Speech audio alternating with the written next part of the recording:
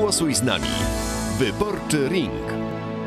I witamy w pierwszej godzinie Loży Radiowej. Joanna Matlak. I Marek Świerc. Witamy też w pierwszej debacie naszych kandydatów w tegorocznych wyborach parlamentarnych, a zaczynamy od kandydatów do Senatu, od okręgu 52, czyli tego obejmującego Opole i powiat opolski. Tu mamy troje rywali, Danutę Jazłowiecką z Koalicji Obywatelskiej, Marka Kawę z Prawa i Sprawiedliwości oraz Rafała Bartka z Mniejszości Niemieckiej. Debata będzie miała dwie części. W pierwszej poprosimy kandydatów o przedstawienie programu, o wskazanie takich celów krajowych, jak i regionalnych, które będą chcieli osiągnąć właśnie w Senacie. A w drugiej części oddamy głos naszym gościom. Będą mieli szansę zadać pytania swoim konkurentom. Ile tych pytań będzie? Zobaczymy tu. No, limit czasowy e, jest jaki jest. Prosimy o dyscyplinę wypowiedzi. W takim razie zacznijmy alfabetycznie. E, co jest najważniejsze dla Rafała Bartka, mniejszość niemiecka? Prosimy.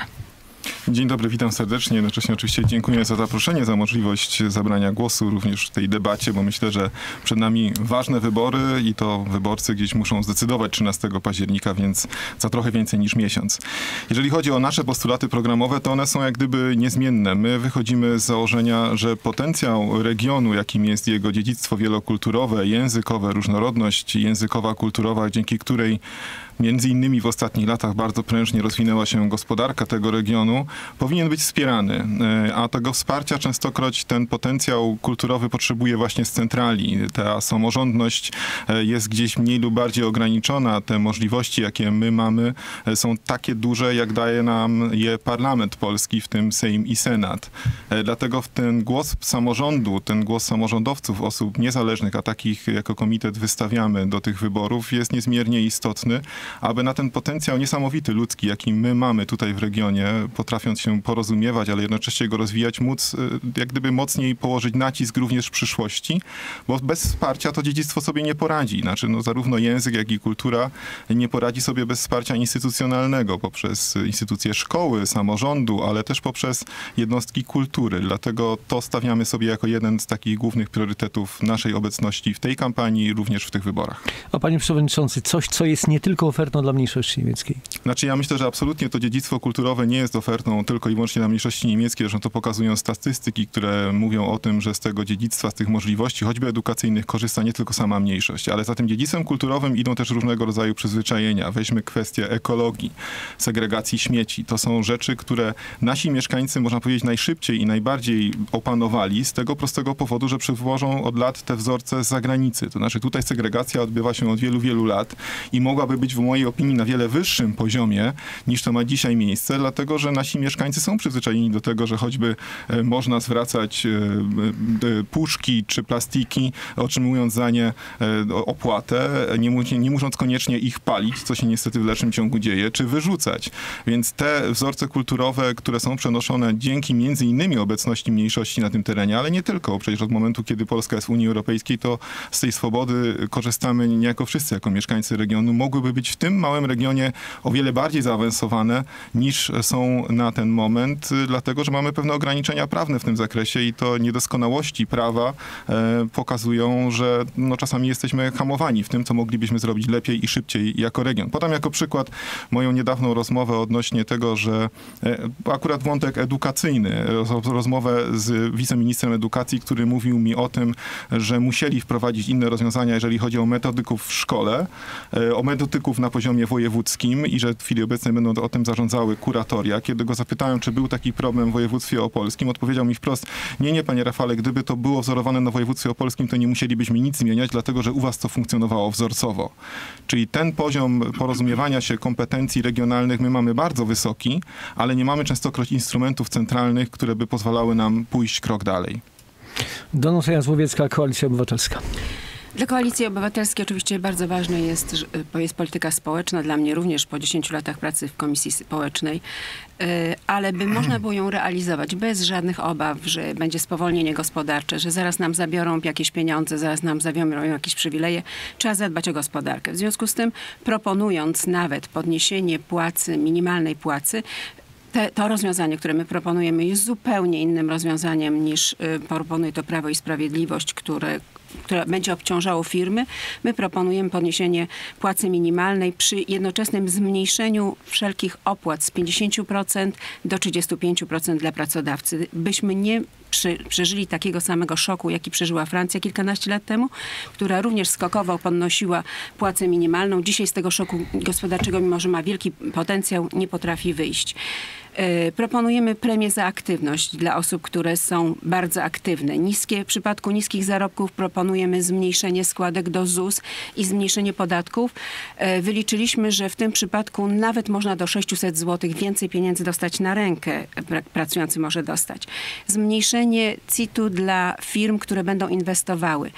Zapaść inwestycyjna, jaka ma miejsce w chosie, w której jesteśmy, jest po prostu nieprawda. nieprawdopodobna. To się wierzyć nie chce, że e, moment, panie doktorze. w ciągu 20 lat potrafiliśmy inwestować, teraz nie potrafimy tego zrobić, mimo że najlepiej, naj, najlepiej, najlepiej w, te, w tej chwili e, prosperuje Polska. Zwolnienie z PIT dla pracujących emerytów. Chcielibyśmy za, z, z, wz- wzmocnić e, tą chęć pracy emerytów i jednocześnie zachęcić ich do tej pracy, żeby ona się im opłacała, żeby byli z niej zadowoleni. Mm, Proponujemy pakiet akcji 10 tysięcy za 40 lat pracy, który po 50 latach wart będzie 20 tysięcy. To sobie emeryci będą mogli zdecydować, na co te pieniądze wyda wydadzą. 1000 zł na opiekę dla, nad osobą niesamodzielną. Yy, My nawet nie, nie, nie zastanawiamy się, jak nasi emeryci, jakich potrze- jakich potrze- mają, jakie mają potrzeby, że potrzebują pójść do fryzjera, potrzebują zrobić zakupy, nie zawsze sobie z tym radzą, potrzebują kogoś, żeby z tym, z tym kimś tylko porozmawiać. O tym nie myślimy. Myślimy w dużej mierze o domach e, całodziennej opieki, o domach e, dziennej opieki, ale o tych takich zwykłych, najzwyklejszych sprawach nie, nie myślimy. I mm, myślę, że to dofinansowanie daje, da taką możliwość, że ten osamotniony, przede wszystkim osamotniony i niesamodzielny e, emeryt będzie miał, e, będzie miał duże wsparcie. No i oczywiście też dla seniorów wprowadzenie opasek ratunkowych monitorujących stan zdrowia. Bardzo ważna rzecz. Dla młodzieży po 15 roku życia możliwość prowadzenia własnej małej działalności gospodarczej. Dotacje na start, nie na takiej zasadzie jak jest dzisiaj, że dzisiaj ta osoba po to, żeby dostać jakąś dotację musi najpierw być osobą bezrobotną i mm, rejestruje się jako osoba bezrobotna po to, żeby dostać jakieś środki. To jest, to jest kompletnie y, irracjonalne. No i oczywiście edukacja, ale edukacja w standardach fińskich, które są dzisiaj najlepszym przykładem dla całego świata. I tam y, w Finlandii przede wszystkim inwestuje się w nauczyciela po to, żeby nauczyciel nie uczył od do, tylko żeby nauczyciel był mentorem dla ucznia i tak jak u nas na przykład pan Kłosowski w dzień e, rozpoczęcia roku szkolnego powiedział, no dzisiaj pada, bo rozpoczął się rok szkolny. E, W Finlandii jest tak, że jak się dziecko zapyta na ulicy, kim chciałbyś w przyszłości zostać, mówi nauczycielem. No dobrze, ale jakbyś nie mógł zostać nauczycielem, to ki- kim chciałbyś zostać nauczycielem? Bo tak prestiżowy jest to zawód i dla nas to jest też ważne. I oczywiście cała, cały pakiet zdrowotny, e, centra leczenia nowotworów. Na, na, mamy świetne przykłady centra, centrów leczenia, y, centrów y, kardiologicznych, które się świetnie sprawdziły. Y, Dzisiaj, mm, jeżeli chodzi o, o zachorowania na nowotwory, to jest, to jest plaga nieprawdopodobna w Polsce. Maksymalnie 21 dni do, specjaliści, do specjalisty, maksymalnie 60 minut oczekiwania na sorze, y, znieczulenie przy porodzie, bardzo często odmawiane kobietom i oczywiście uwolnienie lekarzy od biurokracji, która zajmuje 80% i całe mnóstwo jeszcze Pani- innych rzeczy, ale już widzę tutaj, Nie, nie, ale dok- bo, nie, bo, ja, bo, mówi, nie, koniec, nie, bo ja bym tak? chciał chociaż kilkadziesiąt sekund o jakiejś lokalnej tematyce. Tak, oczywiście, jak Ale najbardziej. to minutkę, bo Tak. czeka kolejny gość. Oczywiście ta, ta lokalna e, tematyka jest związana, bardzo związana z, e, z, z programem Koalicji Obywatelskiej. Ja przede wszystkim chciałabym się, chciałabym kontynuować tą moją pracę e, związaną i adresowaną do młodych ludzi. Chciałabym na Opolszczyźnie utworzyć Digital University. Coś takiego funkcjonuje w Warszawie. Prowadzi je osoba, która ma bezpośrednie kontakty z Doliną Krzemową i to świetnie e, e, się rozwija. Od e, początkowych warsztatów dzisiaj są już semestry dla młodzieży od e, 6 do 12 lat. Chcielibyśmy, żeby ta młodzież po wejściu do szkoły nie traciła kreatywności, którą posiada jeszcze w przedszkolu. I oczywiście dla osób starszych e, cały pakiet e, projektów, programów, które e, aktywizowałyby te osoby. My mamy nieprawdopodobnych seniorów tutaj na Opolszczyźnie. Oni potrzebują pewnego wsparcia, żeby mogli jeszcze bardziej się rozwijać i jeszcze bardziej realizować swoje marzenia jeszcze z młodości. To była Dorotea Złowiecka. Na finał tej rundy dr Marek Kawa. E, Proszę Państwa, no, ja nie mogę spokojnie e, słuchać tych, tego pustosłowia. Przepraszam, że nie zaczynam swojego programu, ale te, te choćby kilka nieprawdziwych e, informacji, które, które podała pani Jazbowiecka, choćby to, że jest jakaś zapaść inwestycyjna, wręcz przeciwnie, pani poseł, My od dwóch lat e, mamy, mamy inwestorów. Proszę zobaczyć, co się dzieje. Pani dawno nie była chyba w Opolu. Mamy zapełnioną strefę ekonomiczną i martwimy się właśnie, gdzie, gdzie umieścić kolejnych inwestorów. Ale do, odniosę się później do tych, do tych spraw. Zacznę od polityki będą społecznej, pytania. ponieważ też nie rozumiem, jak państwo Platformy Obywatelskiej możecie mówić o polityce społecznej, mając 8 lat, nie realizowaliście, nie, nie, właśnie nie widzieliście tego szarego człowieka. Mówi pani tyle o seniorach, o, o młodzieży. Ale to my właśnie i ja będę tego pilnował, aby w, y, zaczął, y, zaczął funkcjonować właśnie w Opolu, bo wiem, że ludzie czekają na pro, rządowy program, y, rządowy program Mieszkanie Plus. Właśnie na wynajem dla młodych ludzi.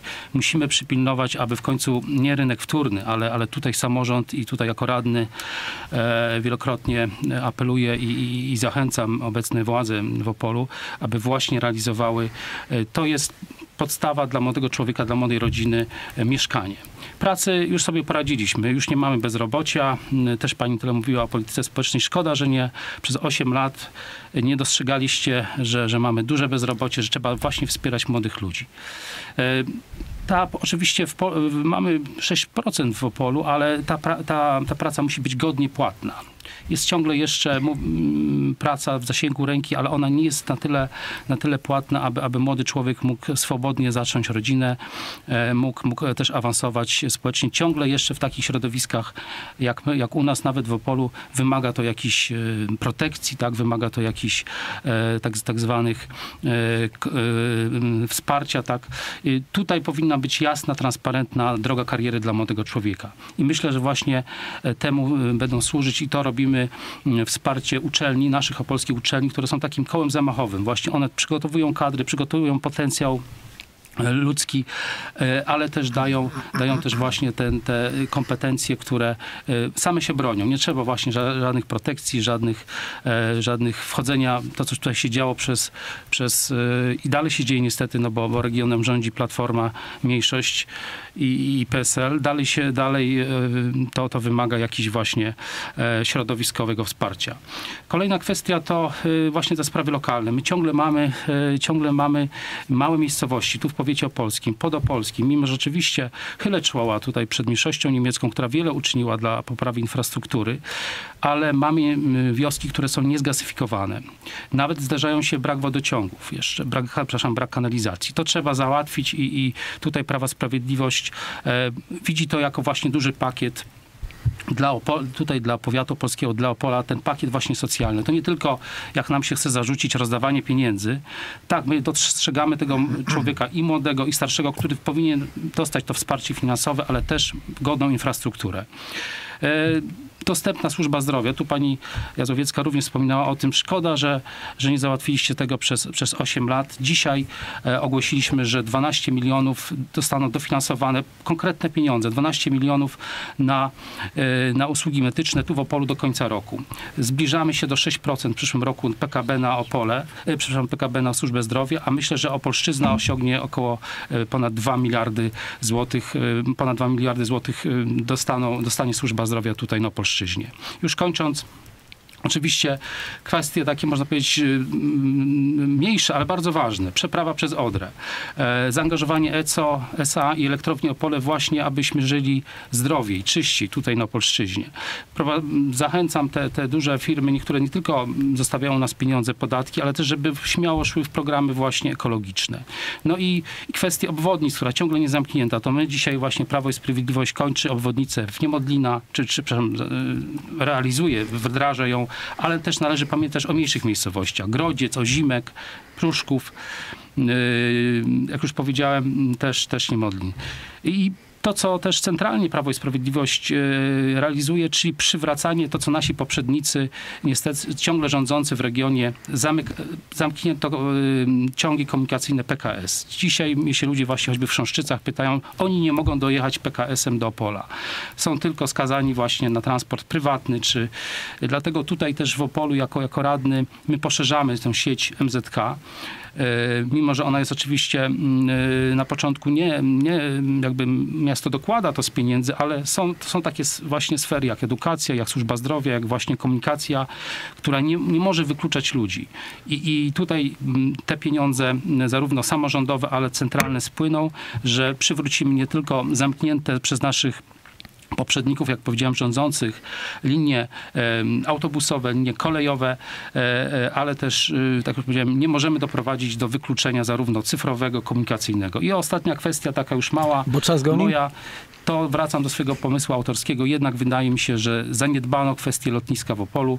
Dzisiaj oczywiście nie możemy pomyśleć, pod Opolem bardziej oczywiście, ale nie możemy y, pozwolić sobie na lotnisko pasażerskie duże, ale warto wrócić do takiego lotniska, e, lot- lotniska lokalnego, jak i myślę, że mm, warto wspomóc, bo bardzo dużo mm, y, osób dojeżdża też do pracy do Opola, czy przemieszcza się między Opolem i Wrocławiem, zniesienie bramek e, na A4.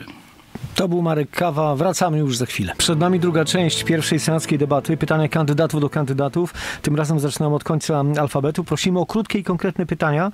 Najlepiej 30 sekund i podobnie krótkie odpowiedzi. Najlepiej minuta. Wtedy zdążymy tych pytań zadać więcej. Zaczyna Marek Kawa. Panie doktorze. Ja oczywiście zadam pytania do mojej oponentki e, i światopoglądowej, i politycznej, pani Danuty Jazłowieckiej. E, Tak hipotetycznie, zakładając, że Państwo już nie wrócicie do władzy, e, które z programów socjalnych, Pani tyle mówiła o polityce społecznej, co mnie bardzo, bardzo zaskoczyło, e, które z programów właśnie wdrażanych, implementowanych przez Prawo i Sprawiedliwość, programów od Mieszkania Plus po e, 500 Plus Pani zaakceptuje, tak, no bo Senat jest, jak Pani wie, również ustawodawczą, uchwa- uchwałodawczą izbą. Prawie minuta już, panie doktorze. Proszę o, o które z tych, tych, tych A naszej które nie? oferty, a które nie. Znaczy ja muszę panu powiedzieć, że... akceptuje może tak. Ja muszę panu powiedzieć, że jest wiele programów, które państwo wprowadziliście. Tyle tylko jest, większość z nich to są nawet pomysły nasze. My niestety rządziliśmy w dobie kryzysu i muszę panu powiedzieć, pan zarzucił nam duże bezrobocie, a ono było najmniejsze w Unii Europejskiej. Dzięki temu, y, jak pracowaliśmy, rozpędziliśmy tą maszynę i dzisiaj rzeczywiście Polska świetnie funkcjonuje. I rzeczywiście państwo wprowadziliście y, dużo ciekawych programów społecznych, ale niestety nie macie kompetentnych ludzi, którzy, potraf, którzy potrafiliby to robić. I niestety te programy y, są chrzanione, kno, knocone i, i tak naprawdę nie powodują rozwoju. Proszę zobaczyć, dam panu przykład. Proponuje pan, proponujecie państwo podniesienie wynagrodzenia, najmniejszego wynagrodzenia. Jednocześnie macie świadomość, że to podniesienie tego wynagrodzenia, skokowe podniesienie, spowoduje, że małe i średnie firmy będą upadały, dlatego że one sobie nie poradzą z dodatkowymi podatkami, które będą musiały płacić, poseł, to- albo wejdą w szarą strefę. Czy to jest podatki. Czy kompetencja, pani, czy to jest dobra kompetencja? Pani, ale, ale 90%. spróbujmy odpowiedzieć na pytanie. Które z tych programów zostawiamy, które nie? No to ja bym musiała teraz mieć 5 minut, żeby odpowiedzieć na to. Mieszkanie Wow. Plus. Mieszkanie Plus. Czy pani akceptuje mm, mieszkanie? Pięć minut to my nie mamy. Wsparcie rządowe dla budowy dla młodych. Mamy propozycje dla młodych ludzi, które zwiększy ilość mieszkań. Nie tak jak państwo to zaproponowaliście, 100 tysięcy mieszkań na rok, a zrobiliście ich w ciągu 4 lat zaledwie 600 chyba. Więc Zrobiliśmy ten program, więcej, który my wprowadzimy, y, zmodyfikujemy z pewnością tak, żeby rzeczywiście młodzi ludzie mieli mieszkania. 500 plus? 500 plus, wyprawka, becikowe. Becikowe jest naszym programem i to my go wprowadziliśmy w 2007 roku, dlatego państwo też straciliście. samorządowym E, becikowym. straciliście e, rozpęd i przegraliście. E, I 500 plus oczywiście pozostanie. 500 plus pozostanie.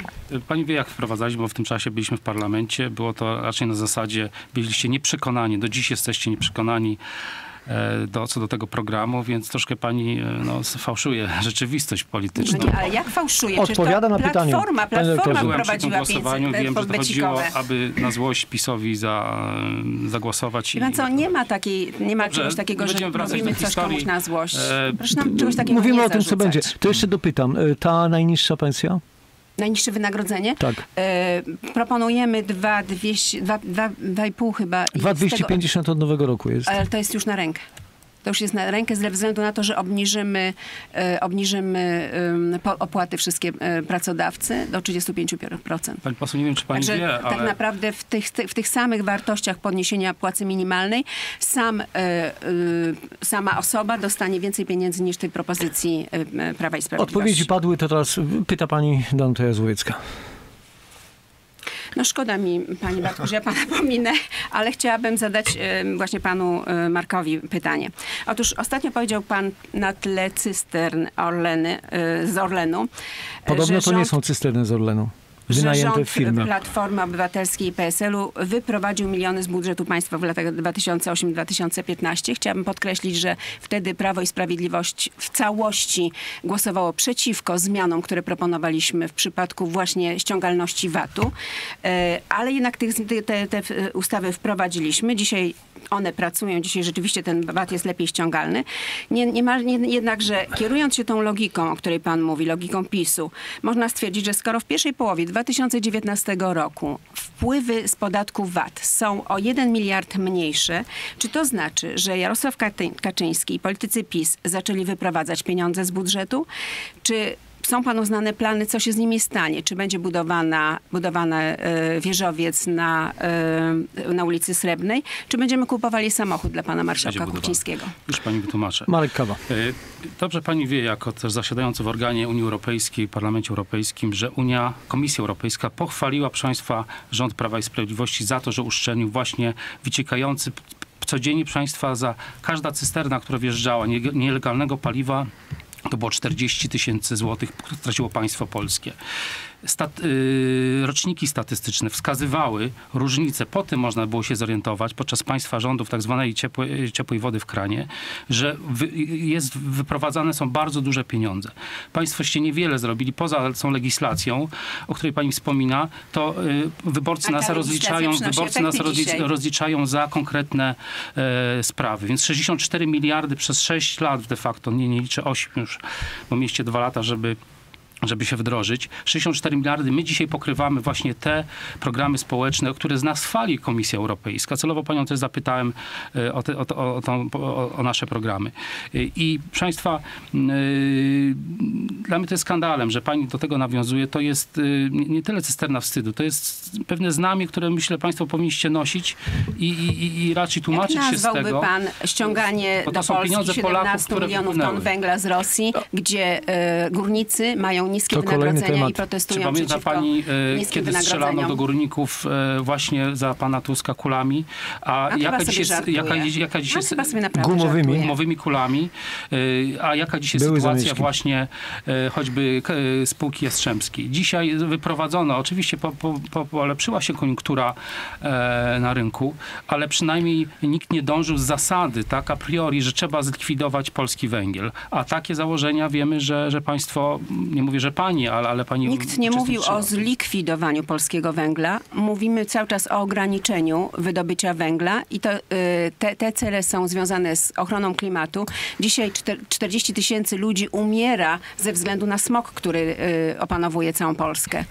I to jest dobrze, szalenie istotne, żebyśmy szukali Pani poseł, rozwiązań. bardzo dobrze, Państwo pani- zatrzymaliście e, bardzo ciekawy, ciekawy projekt wzm- wzmacniania odnawialnych, e, odnawialnej energii i w tej chwili tak naprawdę mówicie, że będziecie to budować, ale przez 4 lata zmarnowaliśmy 4 lata na to, żeby ta odnawialna energia zaczęła dla nas pracować i żeby ograniczała e, zanieczyszczenia klimatyczne w naszym kraju. Y, Nie ma żadnych zanieczyszczeń. Proszę Państwa, y, Rzeczywiście polityka nie ma. klimatyczna. Zapraszam pana do wielkich kto, miast. Kto podpisał? I zapraszam pana kto już jesienią do oglądania, wygl- jak wygląda Kto, sytuacja kto w sprawie podpisał smogu pakiet paryski? Nie Stany Nie Zjednoczone, miastach. nie Chiny, y, nie duże, rozwijające się kraje, ale właśnie Komisja Europejska, ale właśnie Unia Europejska, która sobie strzela niestety w przysłowiowo w kolano. Do dzisiaj kwoty, tak zwane kwoty emisji nas zabijają. Proszę zobaczyć, co się dzieje w przemyśle cementowym.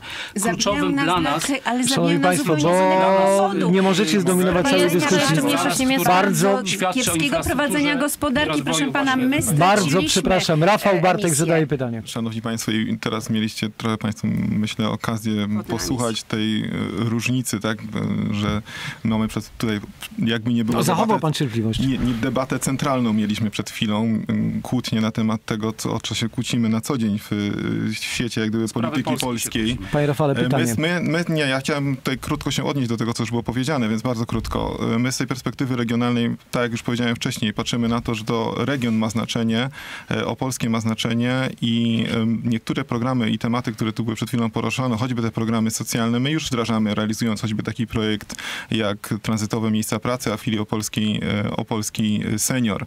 Więc pewne rzeczy można realizować z poziomu regionalnego i tu chciałbym się odnieść do tego, co powiedział wcześniej pan Marek Kawa, jakoby koalicja rządząca zrobiła za mało. Zrobiła za mało tylko dlatego, że za mało jest kompetencji na poziomie samorządu. Ja jestem przekonany po tym roku by, pobytu w samorządzie województwa, że moglibyśmy regionalnie zrobić o wiele, wiele więcej, gdyby kompetencje centralne były scedowane na poziom samorządu, dlatego, że rzeczywiście... Specjalna strefa demograficzna, 160 milionów Niech pan przeczyta przejedzone. dokładnie, re, niech pan przeczyta dokładnie Ludzie program tej specjalnej strefy. Wielu z założeń tej strefy odnosiło się do tego, że potrzebne są rozwiązania na poziomie parlamentu polskiego.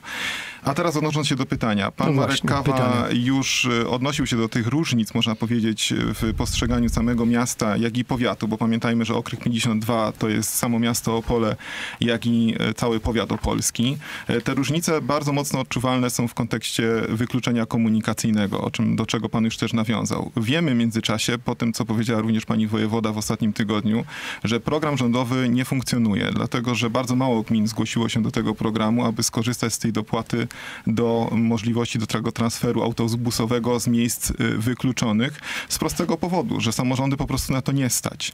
E, Tam na jedną złotówkę trzeba dołożyć co najmniej dwie, a nawet więcej, bo rozmawiałem z wójtami z terenu powiatu, że to są koszty, na które po prostu te gminy nie stać. I mamy w chwili obecnej taką sytuację, że w mieście Opolu rzeczywiście miasto stać na to i chwała za to, aby uruchamiać kolejne linie również do tych nowych y, części miasta Pytanie, i jednocześnie zwalniać i jednocześnie zwalniać e, emerytów z konieczności opłaty.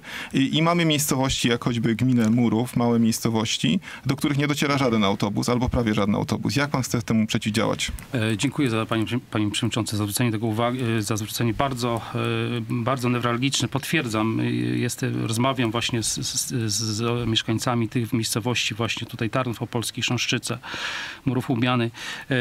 Dlaczego? Bo mm, raz są oczywiście pieniądze, są pieniądze rzędowe, tylko nie ma jakby wykonawcy. Dlaczego? Bo przez 8 lat stwierdzono, że PKS-y są niepotrzebne. Tak, niepotrzebna jest kolej, e, sądy rejonowe, komendy e, powiatowe są niepotrzebne i musimy to wszystko odbudować.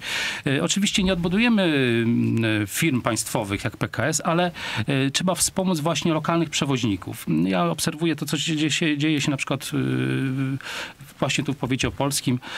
Firma LUS na przykład, tak?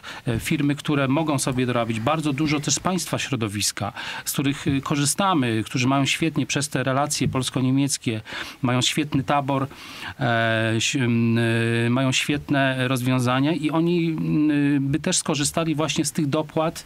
Ja wiem, że to wzbudza tak, pieniądze centralne. Ostatnio tutaj żałuję, że, że właśnie na tej antenie zaatakował mnie pański, pański kolega poseł Gala, że stworzy się jakiś kolejny fundusz e, centralny. No niestety musimy państwo, żeby pełniło swoją rolę właśnie wspomagającą, taki subsydiar, subsydiarność, którą też, też, też obserwujemy w Unii Europejskiej, to musi nadrabiać to, co zostało zniszczone przez niestety okres, y, ja to określam, y, no, trzeciej, trzeciej RP czy czwartej RP, która nie, nie załatwiła y, spraw, które dzisiaj właśnie Prawo i Sprawiedliwość musi w bardzo szybkim czasie. Więc już odpowiadając konkretnie, będziemy wspierać tych prywatnych przewoźników, dodając im preferencyjne właśnie dotacje, aby mogli zrewita- zrewitalizować czy odnowić ten, ten y, newralgiczny, jak pan wspomina i potwierdza pan, e, e, transport, który jest wykluczeniem, jest bardzo niebezpiecznym wykluczeniem komunikacyjnym, no bo nie wszyscy emeryci, nie wszyscy, nie wszystkich stać na, nawet z przyczyn bezpieczeństwa, e, na, na transport prywatny.